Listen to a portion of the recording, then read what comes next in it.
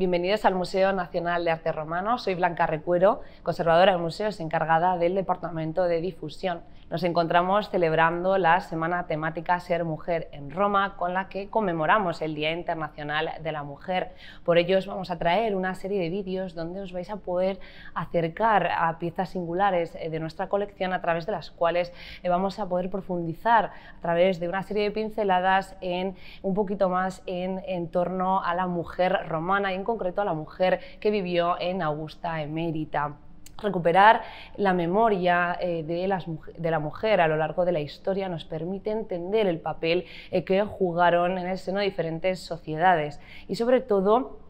eh, la contribución eh, que ha tenido la mujer en el desarrollo de la civilización, ya sea desde una presencia más silenciosa y discreta o bien desde un ámbito de poder. Este último es el ámbito en torno al cual nos vamos a centrar hoy a través de una de las figuras más influyentes y poderosas del Imperio Romano. Hablamos de la figura de Libia, que podemos ver eh, representada en esta figurilla de bronce en el centro de esta vitrina. Livia fue emperatriz de Roma, vivió en el siglo I después de Cristo y fue la tercera esposa de Augusto, el emperador que funda la colonia de Augusta Emérita, actual Mérida, donde nos encontramos.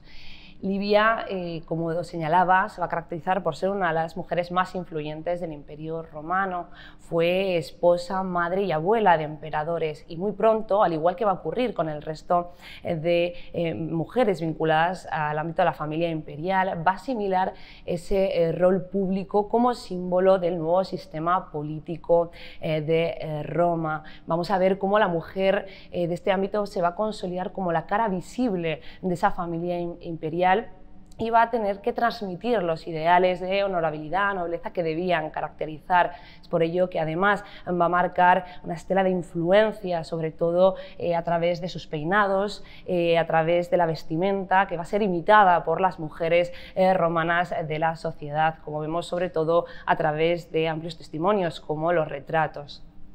debemos destacar, eh, en concreto ahora centrándonos en esta pieza, eh, que se trata de una figurilla de pequeño tamaño realizada en bronce, donde Livia aparece representada o ataviada con una túnica, un manto que le cubre eh, la cabeza, con las manos alzadas hacia el cielo en posición orante. Se trata o se ha interpretado como un simulacra. Los simulacras son estatuillas realizadas en pequeño formato,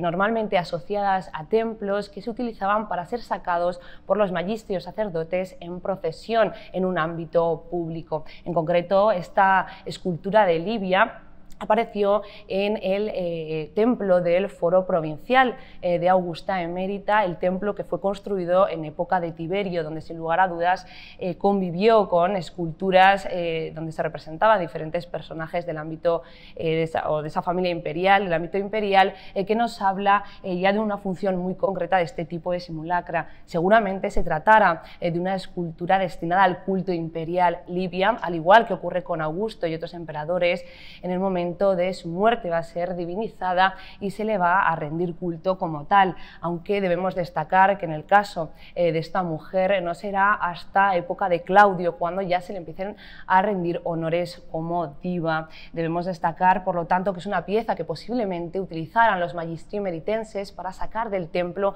en determinados festejos, ritos religiosos eh, para, eh, que portaban en las manos para que el público ¿no? pudiera